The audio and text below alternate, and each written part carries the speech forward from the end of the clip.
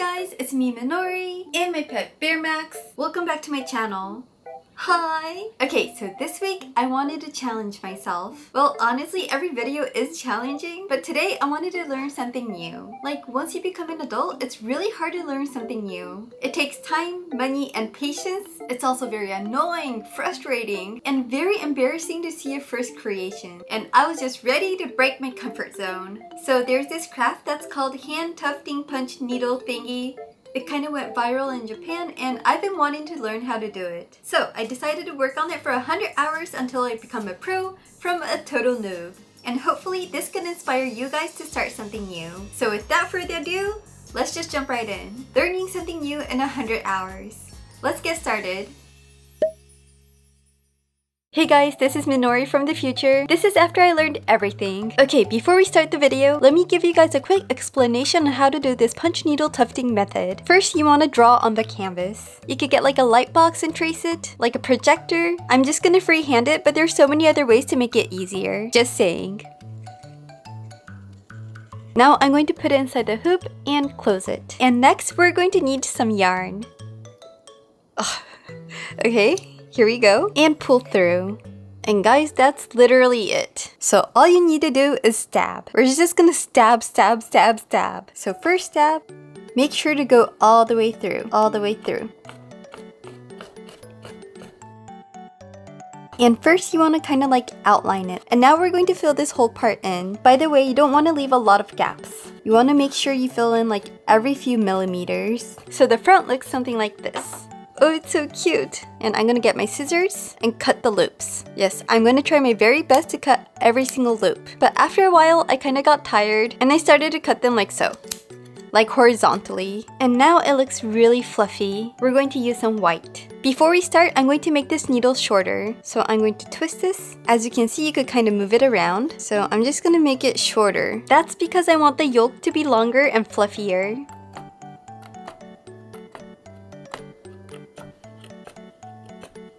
And with scissors, I'm going to go ahead and cut the loops.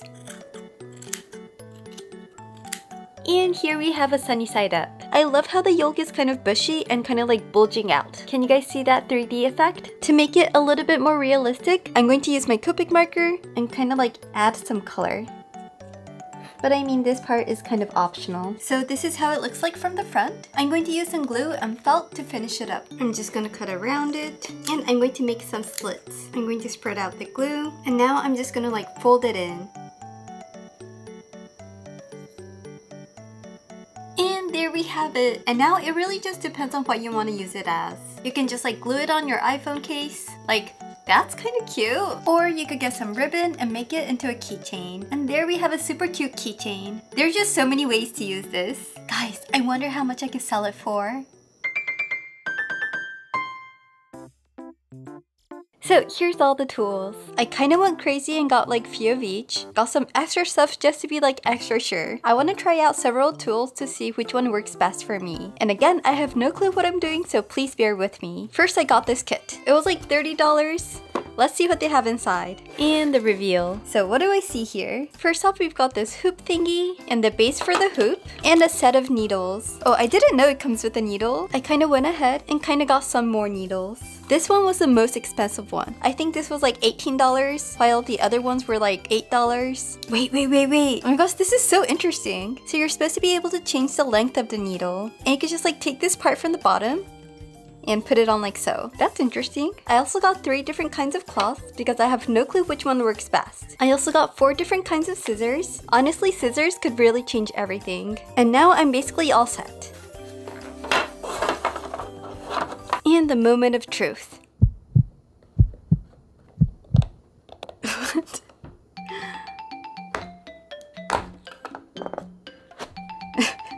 Okay, this is a total fail. So the very first day kind of sucked because none of my tools, despite getting so many, just didn't work. I always say this, but what tools you use is so important for art. Some tools works for some, so you just need to keep on trying until you find the right tool that works for you. So after my very failed first day, I went on Amazon and got a lot more new stuff. For my very first project, I wanted to start small, something easy. So I went for that black thing from Totoro or Spirited Away from Ghibli. It's called Makkuro Kurosuke in Japanese. I wonder what it's called in English? It's called Dust Bunnies? Dust Bunny? That's so cute, but like it doesn't have any ears. Anyways, I just wanted to test the water, so it's not that interesting. It's not that great, but here's my first one. So from here, I actually stopped talking. I just wanted to concentrate and actually try learning. The thing is, it's really distracting to talk and check the camera and think of how to edit the video all at the same time while making art. I just decided to let my future self do all the talking and editing and everything, so thank you past Minori. By the way, this took me about 1 to 2 hours per project. I was going super slow at the beginning. Now it would take me like 10 minutes to make that size, but I was still struggling. So for my next one, I went for My Melody. I changed something and decided to do the eyes with needle felt. I noticed that I mean the texture is the same so it looks great together and you can make really small details. So my melody, check. From here, I kinda struggled again. For my third one, I tried to make ebifurai from Sumikko Gurashi. So I was stabbing and stabbing, but I noticed that it just didn't look right. The yarn wasn't really holding onto the canvas and every loop looked different. It just looked really, just plain bad. I couldn't get why some turns out okay and some don't, so sadly I decided to toss this one away. Next up, I tried making RJ from BT21, but this also kinda failed. I mean, it looks okay, but it doesn't really look like RJ, just a white fluff. I wanted to make as many as I could without caring too much of the outcome. I think quantity over quality is important when you're trying to learn something. Or that's just how I do it. I just decided to finish it and move on.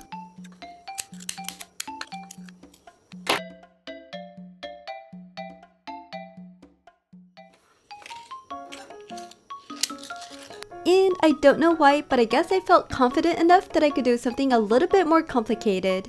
So for my last one of the day, I decided to make Mario. I got this tote bag from Daiso, and I thought it would be like the perfect canvas. It turned out it was a little bit too thick, so it works, but I don't really recommend. But it works.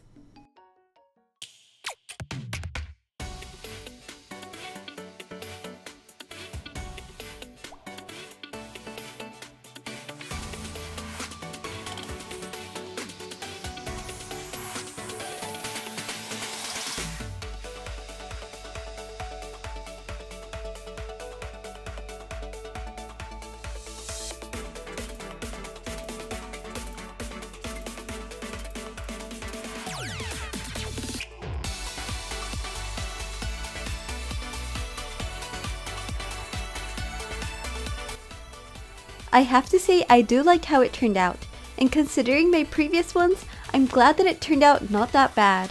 At this point, I just wanted to make something that I really wanted to make. I feel like making cute flowers and easy stuff, although it is easy, it's just not that fun. I mean like, I like flowers, don't get me wrong, but I don't like them enough to help me go through the hard part of the learning process. So just from my experience, when you're learning something new, I think it really helps if you incorporate things that you really like because it boosts up your motivation.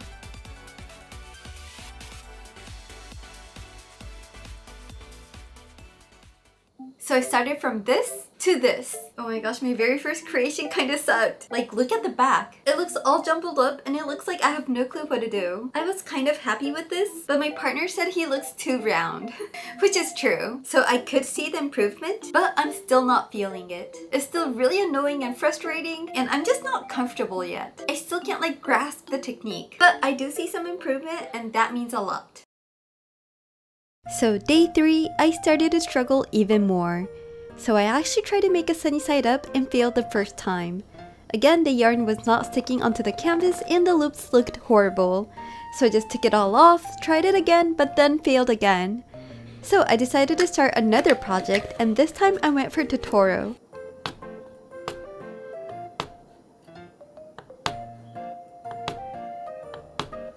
Honestly, this project makes a great ASMR. Anyways, the first part was going great. I just finished the great part and I was happy, but then I started to fail again when I started the stomach. Somehow the gray part was okay, but the white part was a total fail. I also tried another project, but that failed again. Like, look at how much I failed.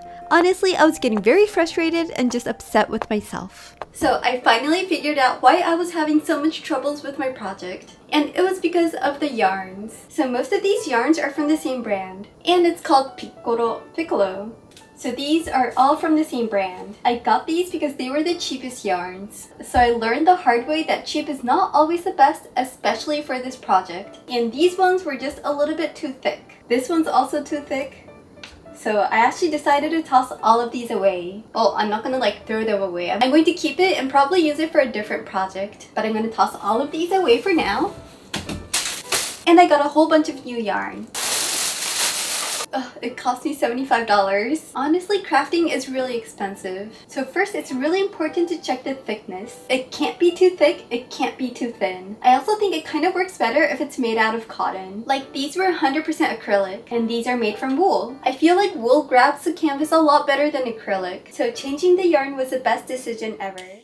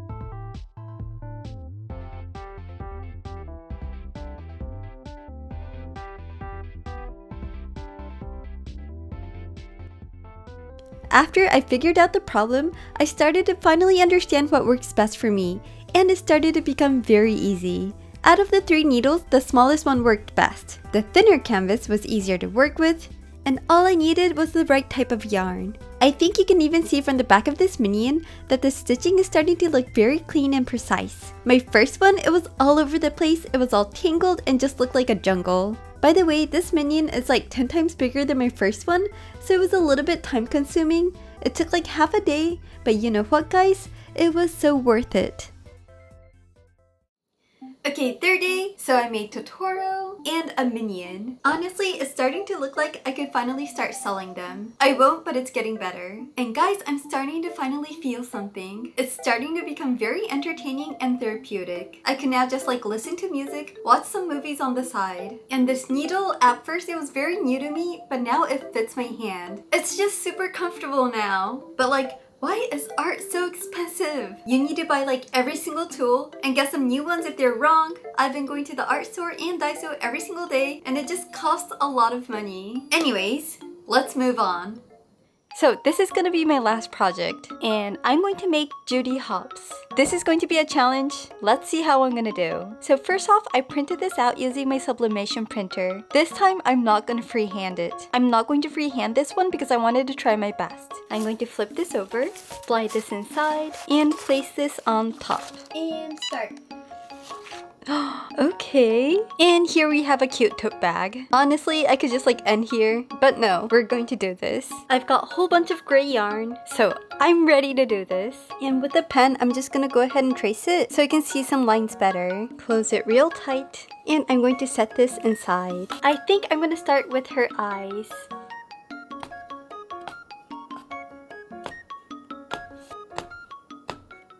Now that I was becoming a pro, I started to become more creative. Like I used three different colors just around her eyes, and I also changed the length of the needle here and there on certain parts. For example, I used thinner yarn for her eyelashes and made them a bit long so they stand out and look more realistic. I also made it so her nose or her snout pops out the most, and when it was time to cut, I tried to cut it so it has that like 3D effect. And I have to say, this was so fun! I got to use my drawing skills, my sculpting skills, and my needle felting skills. I also used my Copic markers and I was just having so much fun incorporating all my past skills. Oh by the way, I couldn't find the right color for her eyebrows, so I just used Copic markers to color it darker. I also used some markers to color in her eyes to make some small details. Now that I was feeling comfortable, I was able to go crazy while relaxing at the same time. I was just watching Hajime Shacho, one of my favorite Japanese YouTubers, on the side for this project. Yes, the first few days was a bit challenging, but after days of trying and trying and trying, I finally got to my comfort zone. But this last project was a little bit big. Like I was going crazy and taking my time, so I couldn't finish it that day. I worked on it for 6 hours straight, but I left her two ears and went to sleep. So guys, this is the last day and I'm ready to finish my project. So it looks something like this so far. it looks so weird without her ears. She's a whole different species. I think I could finish it in like two more hours. This has been a very long journey. I'm just ready to finish. So yeah, um, let's get started. I'm glad how it's looking really clean. And I'm gonna start with your left ear.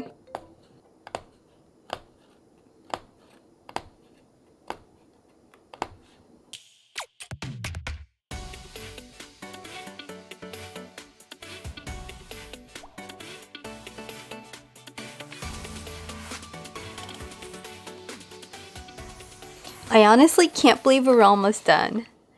It's been a long week.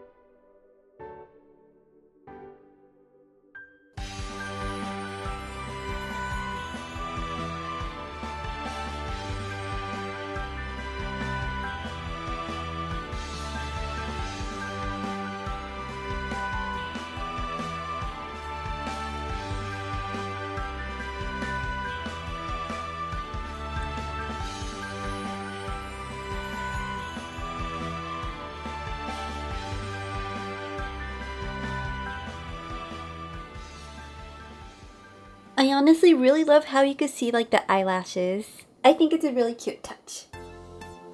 So guys, after what it feels like a very long time, I mean, it was only a few days, but it feels very long. Just dabbing all day. I finally feel confident enough to say that I think I got better. I mean, this was my very first creation, and this is my last. I think you could tell the difference. And it turned out to be something that I actually really enjoy, and I honestly still want to make more. Like, what should I make next? What do you guys think? Maybe a Disney character? A Sanrio character? How about an anime character? Please comment below. But for now, I'm good, so let's just end right here. Thank Thank you guys so much for watching and I'll see you guys next video.